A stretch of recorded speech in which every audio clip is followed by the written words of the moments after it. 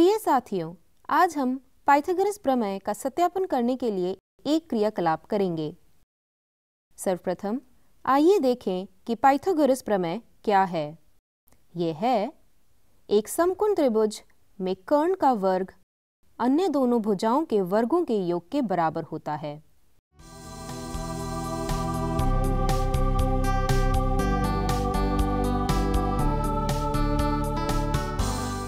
इसके लिए हमें कुछ सामग्री की आवश्यकता पड़ेगी, जैसे कि कार्डबोर्ड रंगीन चार्ट पेपर रूलर कैंची सेट स्क्वायर प्रकार पेंसिल रबड़ अब प्रारंभ करने के लिए आइए एक समकोण त्रिभुज खींचें। यहाँ हम भुजाओं ए बी बी सी और सी वाला एक समकोण त्रिभुज खींचते हैं। यह कोण ए है, जो एक समकोण है। यह कोण बी और कोण सी है। इस प्रकार हमें एक समकोण त्रिभुज एबीसी प्राप्त हो जाता है। अब अपनी प्रमेय के सत्यापन करने के लिए हमें त्रिभुज ए बी सी की भुजाओं पर वर्ग बनाने की आवश्यकता है। हम कोण ए के सम्मुख भुजा को ए से, कोण बी की सम्मुख भुजा को बी से, तथा कोण सी की सम्मुख भुजा को सी से व्यक्त करते हैं। अब अपना परिणाम सत्यापित करने के लिए हमें लंबाई ए की भुजा BC पर एक वर्ग की रचना करने की आवश्यकता है। हम इस वर्ग की रचना करते हैं तथा हम देखते हैं कि इस वर्ग का क्षेत्रफल ए का वर्ग है। इसी प्रकार हम भुजा AC पर वर्ग खींचते हैं, जिसकी लंबाई बी है। इसलिए इसका क्षेत्रफल क्या होगा? यह बी का वर्ग होगा। इसी प्रकार हमारे पास लंबाई c की एक भुजा है। यहाँ हम लंबाई c वाली भुजा पर एक वर्ग की रचना करते हैं। यह हमारा तीसरा वर्ग है, जिसका क्षेत्रफल c का वर्ग है। हम इन वर्गों के कटआउट भी तैयार करते हैं। यह कटआउट क्षेत्रफल a का वर्ग वाला वर्ग है।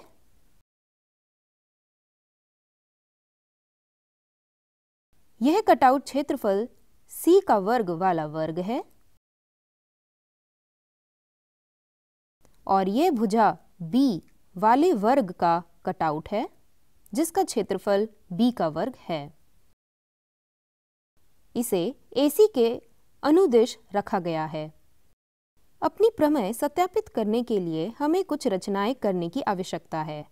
यहाँ देखिए पहले हम विकर्ण ए आई को इस प्रकार मिलाते हैं। और फिर हम एच बी को भी मिलाते हैं।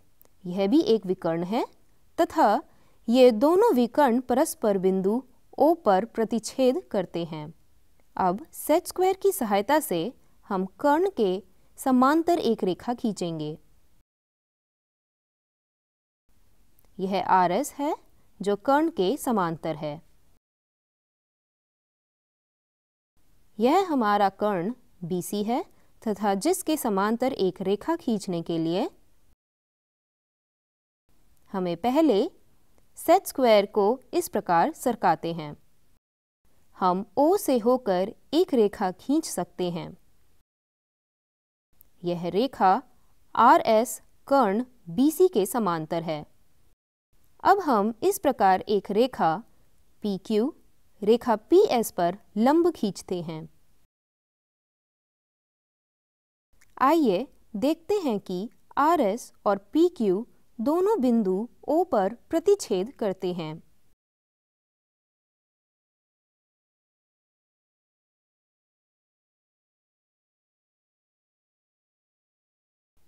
आप क्या देखते हैं?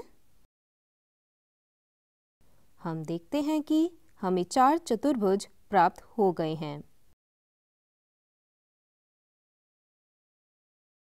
जो P I R O O R B Q B O S A और ओ एस एच पी है।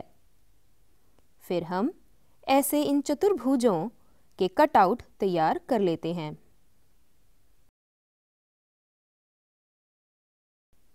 यह पहला चतुर्भुज है। यह दूसरा चतुर्भुज है। यह तीसरा चतुर्भुज है। तथा यह चौथा चतुर्भुज आ रहा है।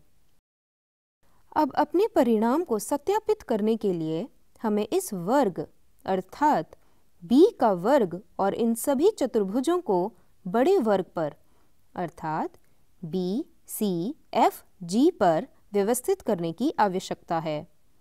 हम ऐसा कैसे करते हैं? पहले हम क्षेत्रफल b का वर्ग वाला कटआउट उठाते हैं और इसे बीच में इस प्रकार रखते हैं। अब हम इन चारों टुकड़ों को इस प्रकार रखते हैं कि ये वर्ग को पूर्ण रूप से ढक ले।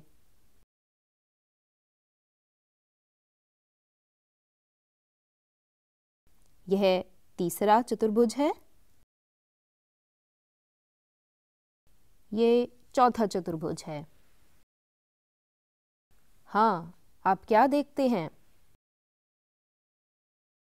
हम देखते हैं कि समकोण त्रिभुज की अन्य भुजाओं पर बने वर्ग मिलकर कर्ण पर बने वर्ग के बराबर है।